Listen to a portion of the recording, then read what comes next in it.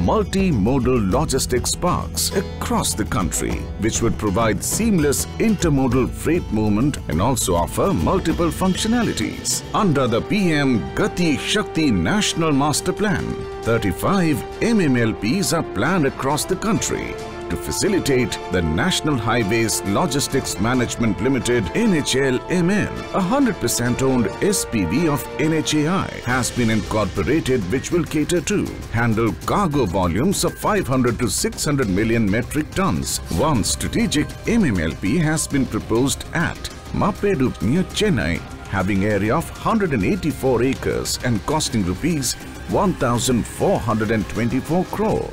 The MMLP will provide ultra-modern facilities like warehouses, cold storage, cargo terminals, custom facilities, truck terminals, lodging and boarding facilities for truckers. To resolve the long-standing last-mile challenge of delivery, Chennai MMLP will handle multiple commodities like food grain, apparel, textile, auto and auto components, electronic, fast-moving consumer goods, etc.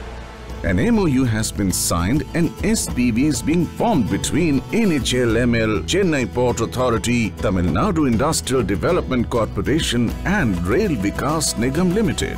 Rail connectivity of 10 kilometers from Kadambattur station, upgradation work of 5 kilometer on State Highway 50B up to MMLP have been envisaged.